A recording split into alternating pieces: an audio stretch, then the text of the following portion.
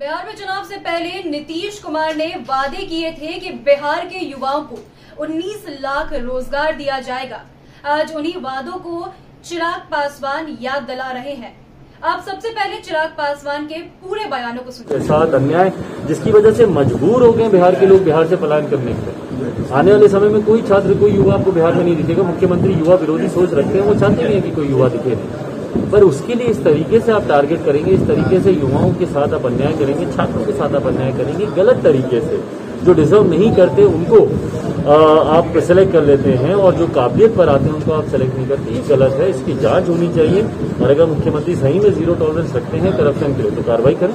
19 लाख रोज़गार को लेकर छात्र बार बार सड़क पे उतर रहे हैं मगर कोई नेता विपक्ष के नेता भी अब उनके साथ नहीं दिख रहे हैं। मैं हूँ ना।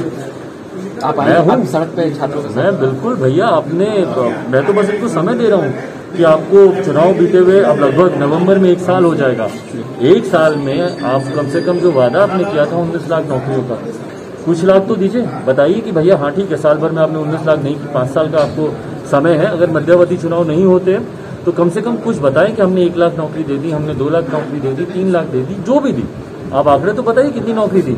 नहीं तो ये आपका जुमला ही बन के रह जाएगा हर चुनाव की तरह कि भैया आपने उन्नीस लाख का आपने छलावा किया मुख्यमंत्री ने उसके आधार पर उन्होंने लोगों का समर्थन लोगों को कहीं ना कहीं ये जुमला सुनाकर उनका समर्थन लिया और आज जब आप सरकार आपकी बन गई मुख्यमंत्री आप बन गए तो आप इससे मुकर रहे गलत है। एक, एक तो आपने सुना चिराग पासवान को उन्होंने कहा है कि अभी तक लोगों को रोज़गार नहीं मिला है। लोग बिहार से पलायन करके दूसरे शहरों में जा रहे हैं, लेकिन बिहार में रोज़गार की कोई स्थिति नहीं है।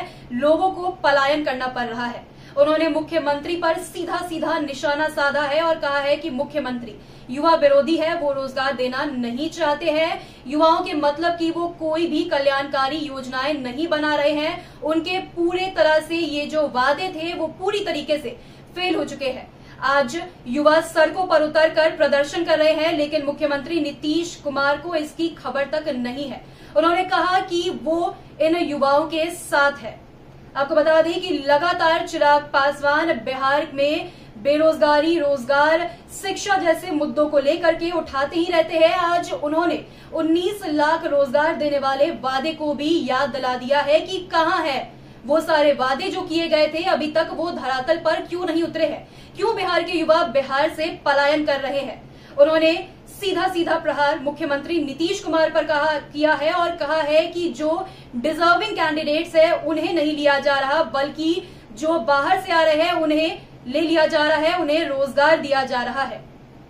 तो अब देखना दिलचस्प होगा कि अब नीतीश कुमार के तरफ़ से क्या जवाब आते हैं। क्योंकि चिराग पासवान ने तो सीधे सीधे उन पर आरोप लगाया है। उन्होंने उन सारे वादों को एक बार फिर से याद दिलाया है कि युवाओं को रोज़गार नहीं मिल रहा है, युवा बिहार से पलायन कर रहे हैं। तो इन्हीं तरह की तमाम खबरों के लिए आप बने रहे हेडलाइंस बिहार के साथ और हमारे यूट्यूब चैनल को सब्सक्राइब ज़रूर कर लें। साथ ही इस वीडियो को लाइक और शेयर भी करें। धन्यवाद।